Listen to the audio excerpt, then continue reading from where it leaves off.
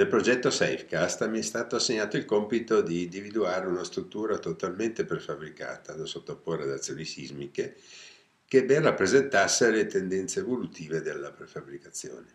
La struttura scelta va nella direzione della massima industrializzazione possibile, che tende a realizzare in fabbrica il 100% della costruzione con il massimo controllo di qualità non solo delle strutture ma anche delle finiture degli impianti e con un montaggio a secco che consente di ridurre drasticamente i tempi di realizzazione. Si sono così studiate per la struttura Safecast opportuni collegamenti realizzati con connessioni meccaniche escludendo ogni getto in opera.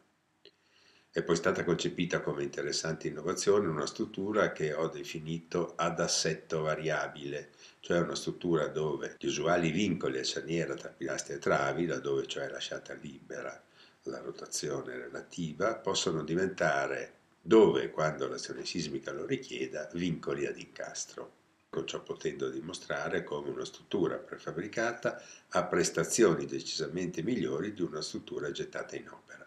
La prima configurazione sperimentata è stata quella di una struttura a tre piani e tre travate connessa a due muri rigidenti, anch'essi prefabbricati, su cui convogliare la totalità delle azioni orizzontali sismiche.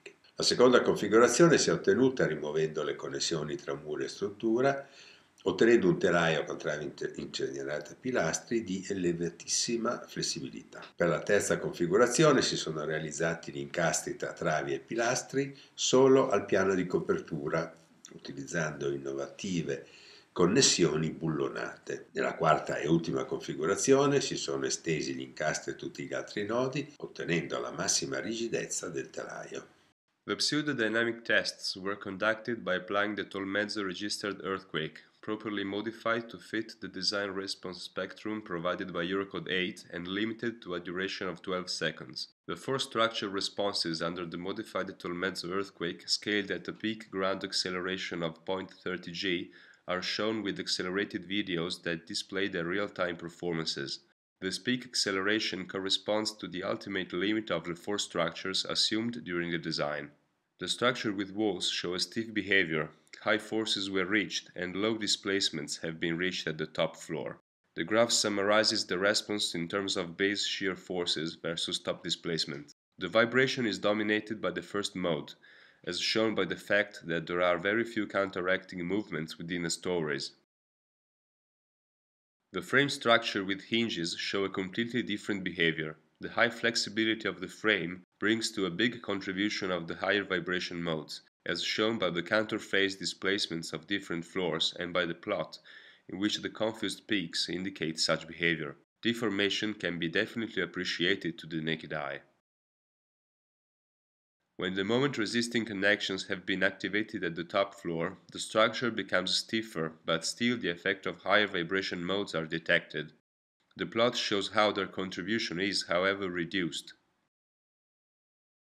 When the connections are activated at all nodes, a much stiffer behavior is reported.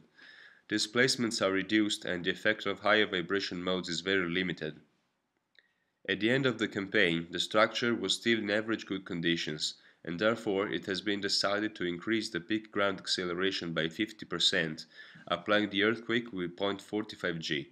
Displacements and forces were increased, bringing the structure to a deeper damage, but still at the end of the test an average good condition has been reported. Thus it has been decided to perform a final cyclic test with increasing displacements, the so-called funeral, to explore the deep plastic damage behavior of the structure it has been pushed up to the dramatic level of an interstory drift of 6%, which represents the limit of the instrumental setup. Still, the precast frame did not show a tendency of failure, even if its members were clearly taken far from the elastic field.